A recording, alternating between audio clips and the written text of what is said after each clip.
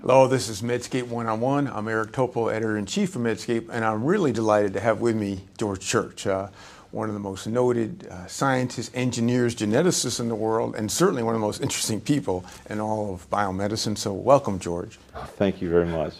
And George is a professor at Harvard, and he has done an immense amount of things, and we could talk all day. But uh, I just want to get into first maybe a bit of background because a lot of people in the medical community uh, may not be so familiar with how you kind of came through this thing where you were at Duke and you got um, combined degrees in two years in zoology and chemistry, I guess. And then something happened during your postdoc there where you they told you forget it or something? Oh, my PhD. I, I, oh, I flunked out of my PhD and had to go to a lesser university, Harvard. Uh, right. For my PhD with Wally Gilbert. Yeah. Oh, right, right. And then you you actually uh, at some point did you, did you ever go back to Duke? Or you, I've been back a few times. Oh, but not not talks. after you were expelled. That was, was okay. Yeah. And then you were UCSF for a stretch. Yeah, with Gail Martin on embryonic stem cells. Right. Who would have known that would play out like it did? And yeah. and then uh, back at Harvard since what? 86. 86. So yeah. quite a long stretch there, and right. you've been expanding your right. reach there. You've had what the Weiss Institute. Yeah. What does that do, the So the Wyss Institute, biologically inspired uh, engineering, um, and it's it's basically uh, innovative and incubator for um, translation into into companies. And you want to be known more as an engineer than a scientist, is that right? I, I think I'm at the overlap of, of, of uh, everything from basic all the way out to uh, putting things into societal settings. Yeah. And so, uh, what's interesting is you've gotten into so many things over the course of your career. Yeah. Everything from uh, obviously sequencing the genome and founder of many companies related to that, and assisting many companies, to uh, synthetic biology. You wrote one of the most uh, extraordinary books, Regenesis. Yeah, and that, that book, all the way, had, had, a, had a special feature with yeah. the, uh, what, 70 billion copies? Do you want to oh, just. that's right, yeah. So we uh, I, I, this was an experiment I did with my own hands. I, I, made, I uh, wrote the book or used computer program to translate the book into DNA, uh, and then read it, made 70 billion copies of it, which is more than the sum of the top 100 books I did uh, of all time, and then read it out uh, with next gen sequencing. Um, and, and that's now taken on a life of its own. It's become becoming a real industry. Uh, you think this data storage in DNA will actually take off? Yeah, so we've, we've had funding from Technicolor, and we've been encoding some of their archival uh, uh, movie footage. Uh, and it, it archive is a very special application, which is archiving uh, information. It's very challenging to do that for long periods of time um, with changing standards and degrading media. So DNA has a uh, an amazing record of 700,000 years without particularly good technology, uh, and there's no disk drive that's quite in that league yet. That's pretty striking. Uh, and it's a million times smaller than any other media. So. Right, right. Well, maybe a future there. Uh, the, and even more likely since you've gotten involved. Yeah. Now, what about then this um, this whole de-extinction that you've been right. doing, where yeah. you're trying to bring back, of yeah. course, uh, extinct animals? Do you want to just give a little thumbnail about that? I, I, mean, I think uh, in, increasingly it's being seen more as uh, conservation, environmental, ecological uh, conservation of current ecosystems. As it turns out, there are keystone species that sometimes are missing, and that's definitely true for the tundra, which is one of the biggest ecosystems in the world in Siberia and Canada. And at the same time, the Asian elephants are endangered, so the idea is to extend their range back out to their nearest relative, which is the mammoth, which we happen to have very high quality DNA sequence for this extinct species. So we're basically trying to make cold resistant Asian elephants to save that species and save the carbon that's locked in the tundra. So you think that's going to happen? Uh, well, I don't, I don't know. It, it's it's uh, possible. It's, we've, I think we've experienced stranger things. Uh, so, I mean, it, it, it, yeah, they they actually like the cold. They'll play in the snow. Is that uh, right? Yeah. So just getting them from zero to minus forty. Now that's a little side project. Is that a that hobby? Is definitely a side project. Uh, it, it's uh, it's adequately funded, but it, it uh, our main work is on curing uh, therapies for human diseases. Right. So we're, we're going to get into that. I'm kind of just setting up that you have a Yeah. bunch of things. You you do need a lot of stimulation. Right? Yeah, right. Exactly. Uh, I can't Since I'm imagine. narcoleptic, I have a, need a lot of stimulation. I can't imagine you'd ever get bored. I mean, no, that's definitely so not. yeah. how how many people work in your lab in the church lab? Uh, so we have about 100 right now. That's a pretty Yeah. good size. Yeah, Yeah. yeah. Um, okay, so now, and I'm not going to say this is the only other thing, but this is obviously a, an area of uh, significant effort, which is in uh, genome editing. Yes. And this, this CRISPR revolution has Right. kind of taken us by surprise. Now, you and I, having been, are we're pretty close to the same age, and we lived through the uh, Similar Yes. uh, conference. Yeah. Maybe you can just refresh what in the '70s. What was the big controversy back then?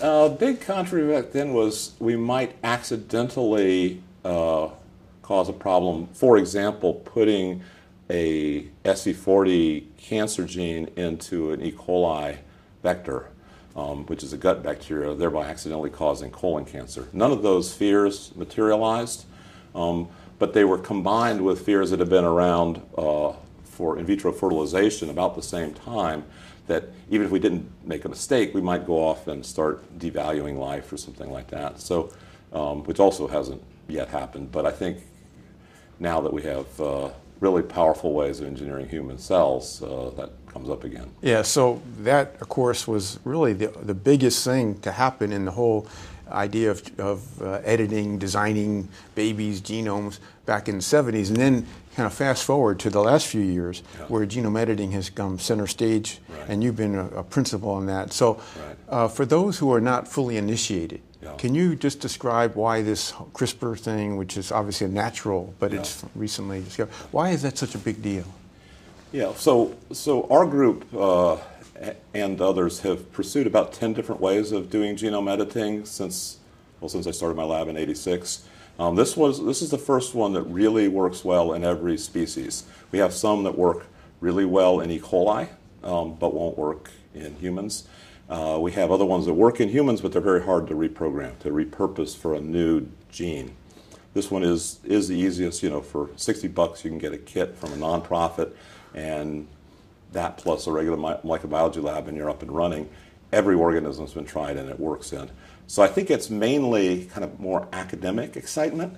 When you get to therapeutics, where you're going to be spending half a billion to a billion dollars on clinical testing, I don't think it's that significant. But then the second feature comes in, which is not just the ease of use, but the efficiency of um, editing. Yeah, so that pinpoint precision, that's what I want to get to. Yeah. When you want to, you know, Yeah. take out uh, an A and, Yeah. and you want to go right there. You don't want to have any off-target effects Exactly. because it could have uh, Right. uh, harmful consequences. So how good are we at doing this precision editing? So, s- straight out of the box, uh, with a good computer program predicting where you should do the editing, um, you can get um, error rates down lower than spontaneous mutation rate, meaning that the stuff just hitting you in the air is worse.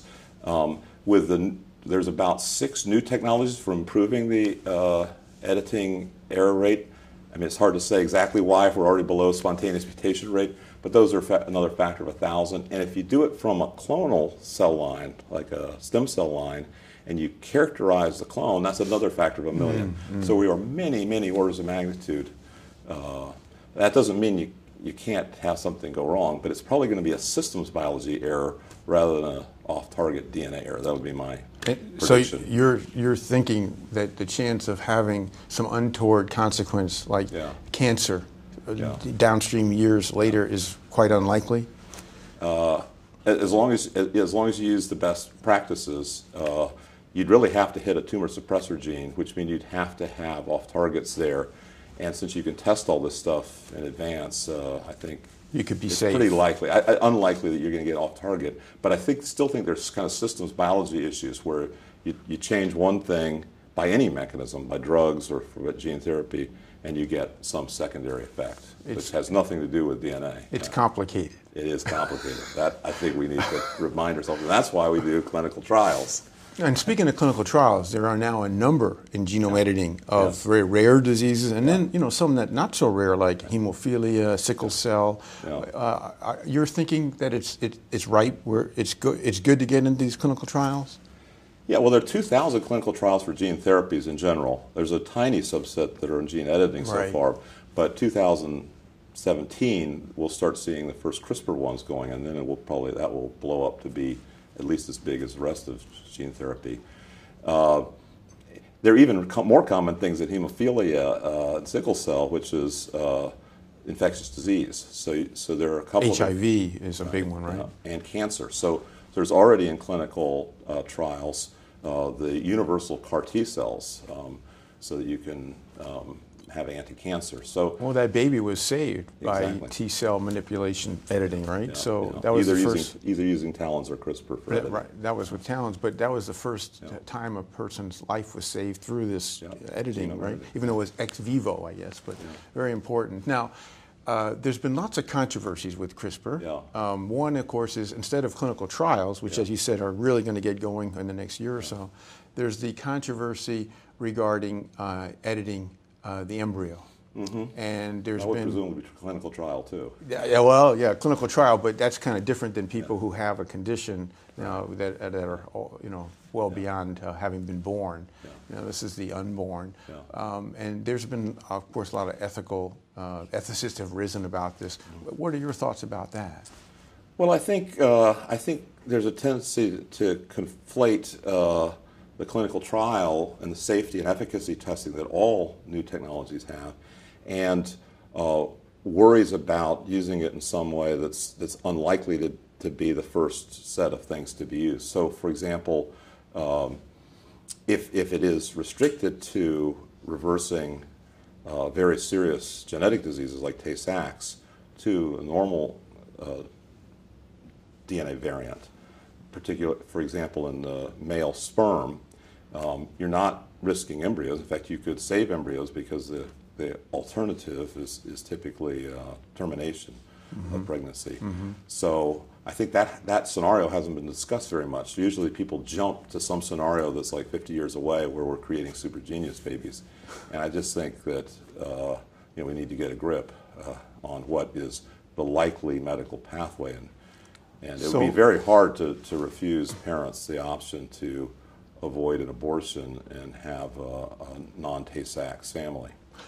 Whereas um, in the UK, they're Yeah. going forward with this, at least uh, in the research. lab. In the lab, research. but this has been banned in the U.S. or where? Where does it stand in the U.S.? No, actually, it's it's it's legal in uh, China, U.S., U.K., and a number of places. Um, it's just um, you need to have private funding in some of these places. Oh, that's what I meant by not supported by the government, NIH here in the U.S. Well, it's, di- it's different from a ban, but yes. Yeah, okay. It, it, it uh, right. Key point. yeah. For example, embryonic stem cell research was not supported by the government, but it exploded uh, uh, economically um, in California and Massachusetts and a few other places where three billion dollars was committed to it. So that's very far from no support. That's Uh, true. Yeah. Uh, in fact, it could have the unintended opposite consequence that if you if you don't support it by NIH, then it's going to be supported privately. It might move more quickly and get even more funding, uh, as we've seen, I guess, right? So you're, I'm glad you clarified that. So it, it is controversial, though, that Yeah. could this start to be used in a way um, which is um, of concern to, Yeah. to people. Now, another controversy has been this whole patent dispute, Right. which is, I guess, perhaps it's a distraction, but it's obviously gotten a lot of media coverage. Yeah. What's your views about that? I, I don't really think it's a, any more of a distraction than the race for sequencing the human genome. It was like, it's, if it's what gets people's attention, then finally people are paying some attention to science. Uh, it's not the way I would have wanted it. Fortunately, I'm not involved directly in the patent uh, dispute so far because our patents on CRISPR are undisputed. Um, so I think That's a good may- part. Yeah. So and, and you've actually, uh, is it collaborated with Jennifer Doudna and the group at Berkeley? We, we I, I've, I've worked with her. I like, I like working with her. We never co-authored a Ah. paper together. Uh, I have co-authored a lot of papers with Feng Zhang. Yes. Um, but I'm not taking sides. I like both sides. Well, like when that But, uh, when, when Eric Lander published this, uh, the Heroes of CRISPR. Yeah. What did you think about that in in Cell a few uh, weeks well, back? he he actually, uh, I offered to proofread it for him in advance, but he didn't give me. An, he only gave me a few hours before it came out, so I had to. Uh, but you know, I, I, I felt that it was he it was a good idea, which was to like, give more credit, uh, but there was s- some um, bias that other people saw. Uh, um, and I think in the end, there wasn't that much credit given to the young people who actually did the work. That was one of my key critiques. Yeah. Was uh, if you're going to give credit, give the credit to uh, Luhan Yang and Prashant Mali and Le Kong and uh, and so on. Yeah, no, Martin great, Jenick. Yeah. great points. Yeah. All right, so we'll see how this plays out, but it's, uh, would you say this is the biggest thing to happen um, in, in decades uh, in medicine, this whole genome editing? I don't need to say that because other people have said it. I You- mean, you're- I- you're in say- I'll agreement. I say wait and wait and see, really, because we have three other technologies that don't make double-strand breaks. Um, and one of the problems with double-strand breaks is there's a side reaction called non-homologous end joining that is not is not actually precise editing. It's very imprecise editing. And so I think any any method that is easily reprogrammed without double-strand breaks would be even even better. Well- so I say wait and see. Well, yeah, but even with the technology that As exists today, you uh, just last year published about how you could edit some 60 genes Oh, that's simultaneously yeah. and bring back the whole idea of xenotransplants. Isn't that right? Yeah, that's true. I mean, I, we should celebrate where we are rather than than me getting ahead of myself. But yeah, with, with uh, I think that even with CRISPR, um, it seemed daunting to change more than one gene at a, or two genes at a time. Um, but we took on the 62 um, endogenous retroviruses that had basically set back 15 years ago a billion dollar investment in uh, commitment to z- transplantation from pigs to humans, which is a really uh, uh, very promising direction. Anyway, so with CRISPR, we could do that in 14 days. Um, and it's incredible. Yeah, yeah, it I mean, is. it's so to think the thought that yeah. because of genome editing that we could actually get in to, to deal with the, the, the massive problem of donors uh, organs for transplant is, is really Right, uh, right. striking. Now, where do you go next? You've done so much, uh, and obviously there's, there's um, it, it's exciting. Uh, what, what is it that is going to be your, your big push over the years ahead? Uh, I think that, well, the, the last thing on CRISPR that, that, that we're doing uh, next is uh, engineering wild species, because a huge fraction of, uh, of our health problems are due to um, vectors, rodent and, and insect vectors, Lyme disease, Zika, malaria, so forth. Um, but the next next thing has to do with the Brain Initiative. We help. s- I, I can't Yeah. believe I forgot that, of all things. So you're working hard on that, the functional connectome and all this sort of thing? Yeah, so we have uh, wonderful IARPA funding for the doing connecting the brain activity map with the connectome at uh, at synapse level resolution, and turning that into visual machine learning algorithms, which which is like the killer application in the internet, where you can do you know driverless cars, uh, Google recognition of images, and so forth. That's far behind where it should be uh, Right. due to lack of under- understanding of how the mammalian visual cortex works. Yeah, no, I, I know your, um, your uh, impact on the Brain Initiative is going to be uh, very significant, and I, it's just actually striking how you have all these different bases covered, and you're really making momentous contributions in each. And um, it, it also is a, the sense that there's so much more that can be achieved, right? Yeah.